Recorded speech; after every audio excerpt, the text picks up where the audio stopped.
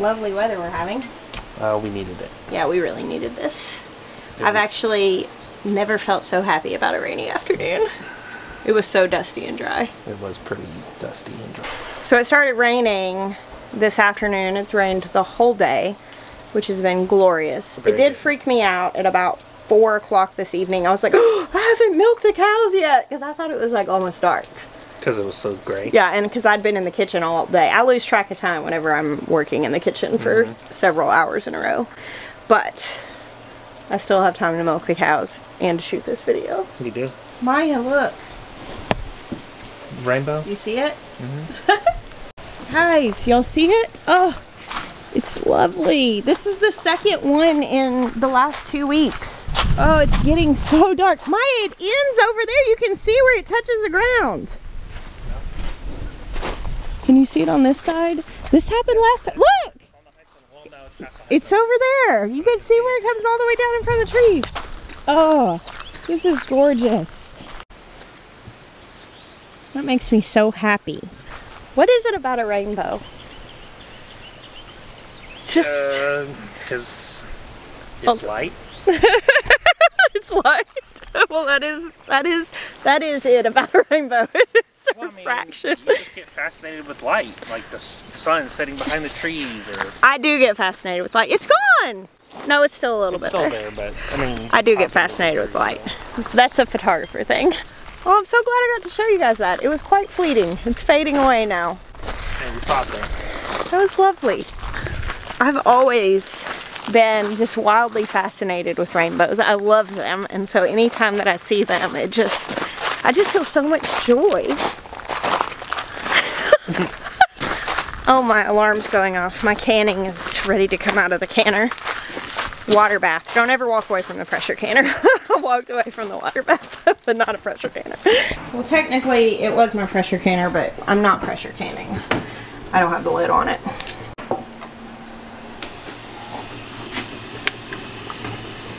Alright, just loaded up the canner with the next batch after taking the last batch out.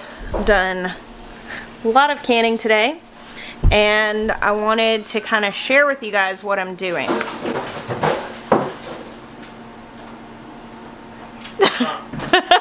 Jackson. Jackson's making a lazy man's load up to the trash can right now. It's whenever you try to carry everything in one load so that you don't have to make two loads. And it's a much it's a much harder one load. Oh yeah, he said actually three. That would have been three loads. Today in this video, I want to talk to you some about food preparedness, uh, food security, emergency preparedness, whatever you want to say. Um, I did a video a few weeks ago called The Urgency to Grow Food. Um, I think that's a really good starting point and I hope that you guys have watched that or will watch that. Um, if you are looking for food preparedness information, I just think that's a really good place to be to, to not let fear drive you. Uh, but whenever we feel the urgency to do something, it's really important that we listen to that and it's not fearful to be prepared. It's actually great wisdom to be prepared. And I am hesitant sometimes to talk about this topic because so many people tend to get afraid. And so if you feel afraid when talking about food preparedness, please go watch that video and uh, hopefully that'll help quell those fears. But this is a topic that I really do feel like we need to talk about. Oh, did y'all hear that little pop of that jar? Music to my ears. So, um, right now, as of today, late May of 2022, uh, we're definitely seeing some tumultuous things in the news and potentials of food shortages. Some some kinds of things are even promising food shortages because of current events. And I am obviously very much pro garden. I love the garden. I want everybody to grow a garden. I have some projects coming up to show you guys like simple ways if you're in a neighborhood or a rental that you can't just go out and build a, a larger garden that you could do something. Uh, because even small efforts I think are very valuable and they're going to give you wisdom and experience which are uh, two extremely valuable things to have but uh, sometimes it's not possible. Sometimes growing all of your food is not um, an option, and so buying things to prepare in conjunction with growing things can uh, really give us a sense of security. And one of the things that I'm currently doing that I wanted to share with you guys because I just think it makes this kind of preparation accessible to so many more people is uh, all of this these tomato products. I didn't grow these tomatoes and uh, normally I do grow enough tomatoes to put up a lot of tomato products but last year we moved in July and so I did not can anything. And of course, by that point, we had pretty much gone through everything that I had preserved the year before. So we moved here without a lot of canned goods and um, obviously haven't grown anything since we got here we're working on it I should be uh, putting up harvest this summer but in the meantime I don't have a like heavily stocked pantry of things I preserve for my garden. So I actually went to a local like food supply store that's open to the public um, and bought some of these big, uh, these are called I think number 10 cans, uh, but it's like a six pound, seven pound can of tomato products. I got some whole tomatoes, I got some pizza sauce, and I separated those out into quarts for the whole tomatoes, into pints for the pizza sauce, into usable portions because even though I do have five hungry sons. We have a big family and often have guests. Um, I still don't need seven pounds pizza sauce at a time. So it also makes this stuff more economical because buying the big can, it brings the price down of each individual serving that I'm buying. And I just like having this. Now, I also think it's a really great option if you are in that classroom stage and maybe you want to learn how to can, but you haven't grown anything yet. Or maybe you're just starting to garden and you're not growing enough to can. I don't know why people think like that you can only can your own homegrown produce. That's so not true. Like learn to can on this stuff so that you've got it down by the time you have your precious homegrown produce because you'll be much more successful at it.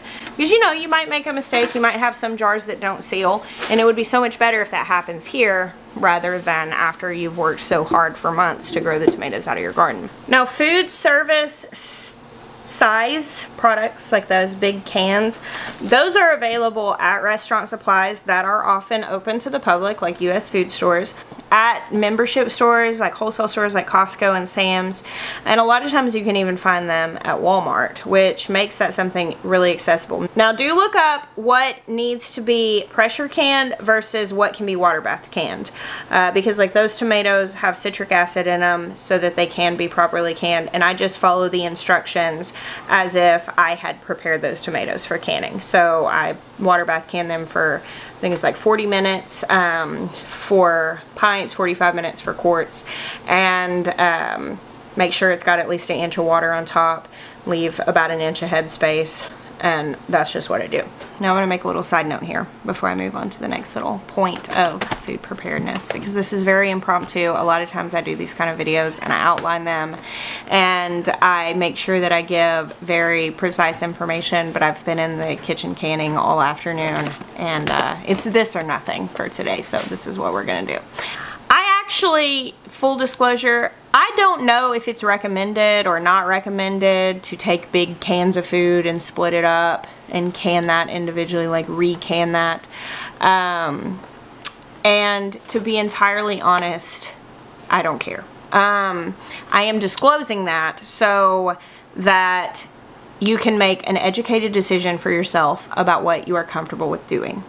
Now, I want to make a confession that food preparedness and emergency preparedness is a topic that I have danced around and not really taken head on.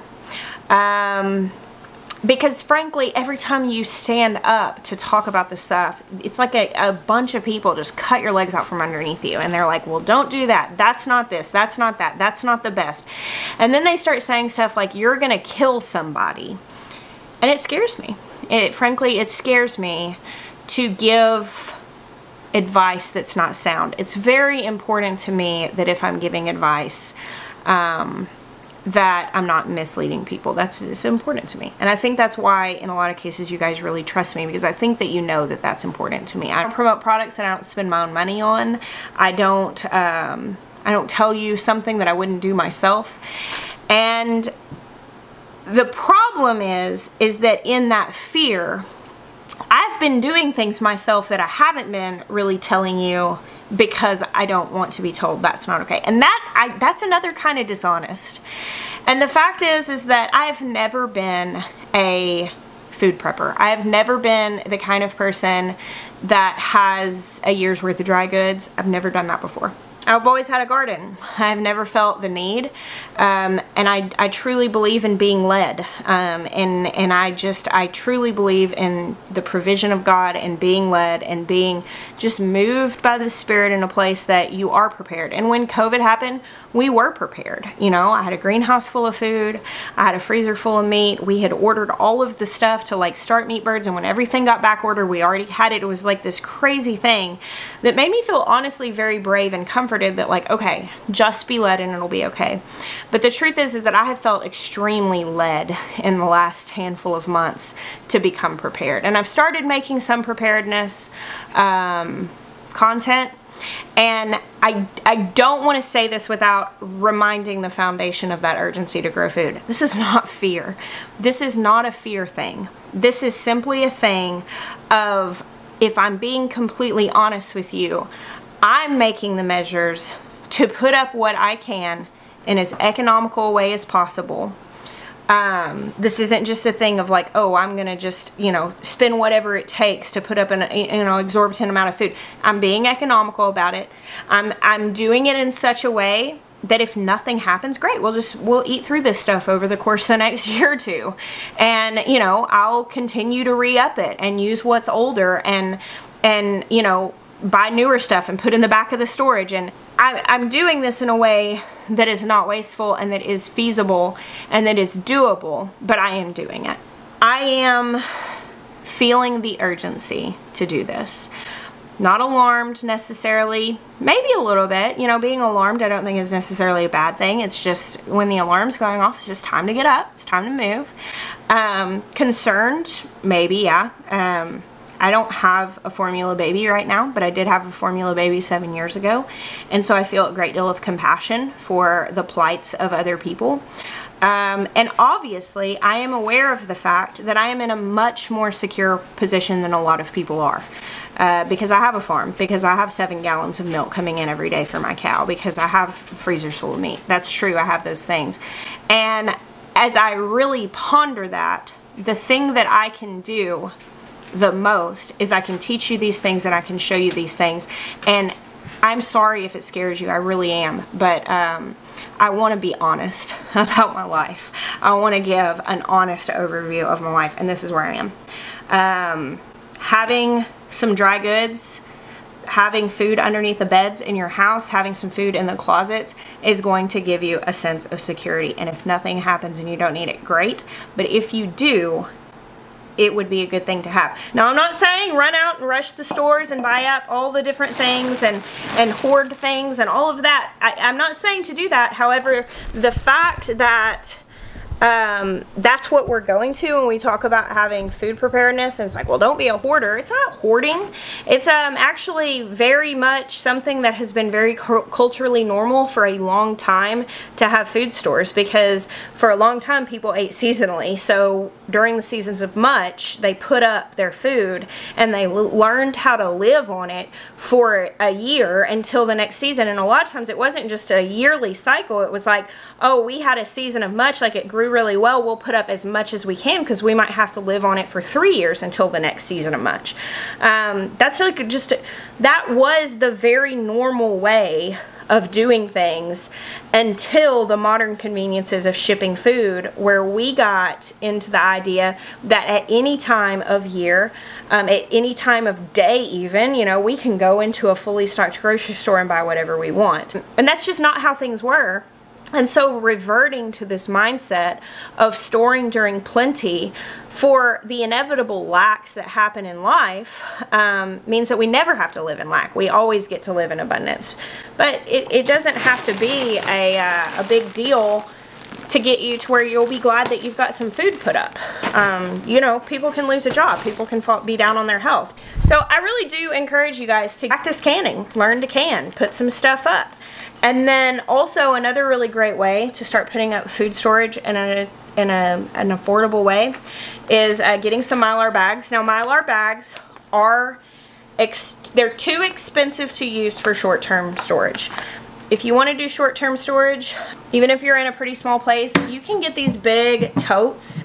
Um, like reusable totes, jars. I, I have bought bulk for a long time using big like Rubbermaid totes where I would buy 50 pound bags of flour and sugar because I was feeding such a big family that it really made much more money sense for us to buy bulk than buy smaller bags. It just, they add up to be significantly more expensive. And so if you have like big totes, it might not be the most aesthetically pleasing thing to have massive totes off to the corner of your kitchen, but they've been in the corner of mine for a very long time. Actually have jars on my counter. You guys comment on those a lot. These two gallon jars. I got those at Walmart's. Uh, but I also always have big plastic containers that have the backup to that because we go through a lot of this stuff. Uh, we do a lot of cooking from scratch. And starting here is a good thing. Um, going, if you've been buying flour by the two pound bag or five pound bag or sugar by the five pound bag, moving up to going into a big wholesale store and buying a 50 pound bag, that's that's one step in the direction of having more food available to you at your house. You don't have to be making the long-term storage measures to make a step in the right direction. So start with a Rubbermaid tote a $5 Rubbermaid tote and get a 50 pound bag of something, put it in there, start cooking stuff from scratch. That's a great step in the direction of food security. But if you want to go beyond that, um, Mylar bags are really good for storing things. And um, I got these from a place called Wallaby. Um, and they come, make sure you read because you want them to come with the oxygen absorbers because if you want long-term storage, they need to have an oxygen absorber in it. And you just put your food in here and then you seal the top. I use my hair straightener. You just need something hot to seal the top with and you have the absorber in there. If I were to put like pasta in here with as big as my family is, um, this is dinner for our family plus like if we have like a couple of guests over which is often the right amount of pasta for our family. If I am having to open one pound packs I have to open like three of them. Uh, but what I bought here were the big five pound bags of pasta. Actually these were boxes that had two five pound bags in them so 10 pound boxes of pasta. And in splitting it up into this I ended up paying less than a dollar a pound for this pasta. Now the Mylar bag, you do have to take that cost into consideration. I can't remember how much uh, these cost because I bought them a little while ago. But um, now you can also get the larger ones of these and it's good like if you have a bucket like this and you're to use your, you're to buy 50 pound bags of stuff and then put it in here and then use your Mylar bag to refill this bucket. Just before you go on and buy a bunch of material, think about what you are trying to preserve and act accordingly. I will tell you though that these are really good for storing pasta because when you pour this pasta out you can reuse this bag. Um, you can just cut the part off that you sealed last time and it'll hold less because you'll be sealing it lower but don't throw these away. Reuse them as long as you put something in it that can be cleaned out. Now that's just two ideas of being able to buy bulk affordable food and break them down um, to amounts that you can use feasibly uh, in the meantime, but that will but that will store longer term in case you need them. Uh, because if you go buy a bunch of food that you can't just use on a regular basis if there's not some emergent need. Um, I think that I understand why people do that. But for me, if I'm buying the food, I want to be able to cycle it in to our meal plan now. And yes, maybe continue to buy and stock up that store and put on the back end of that storage, but be able to work those things in now so that I don't just have food that sits there really long term and then never gets used. And I mean, that's like the best case scenario is that we don't need these emergency preparedness stores, that we always have the ability to acquire and produce more food.